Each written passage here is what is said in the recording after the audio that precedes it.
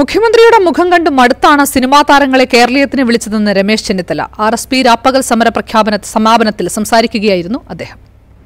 മുഖ്യമന്ത്രിയുടെ മുഖം കണ്ടാൽ ആൾ വരില്ല. അതുകൊണ്ടാണ് മോഹൻലാലിനെയും മമ്മൂട്ടിയെയും മഞ്ജു വാര്യരെയൊക്കെ ഇന്ന് ഈ ഉദ്ഘാടനത്തിന് വേണ്ടി ക്ഷണിച്ചത് എന്നത് നൂറ് ശതമാനം ശരിയാണ്.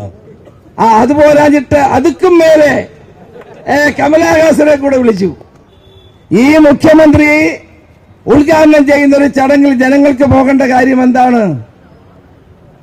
ഇതുപോലെ അഴിമതിക്ക് നേതൃത്വം കൊടുക്കുന്ന അഴിമതി മാത്രം നടത്തുന്ന ഒരു മുഖ്യമന്ത്രി കേരള ജനതയെ വഞ്ചിച്ചുകൊണ്ട് മുന്നോട്ട് പോകുന്ന ഒരു മുഖ്യമന്ത്രി.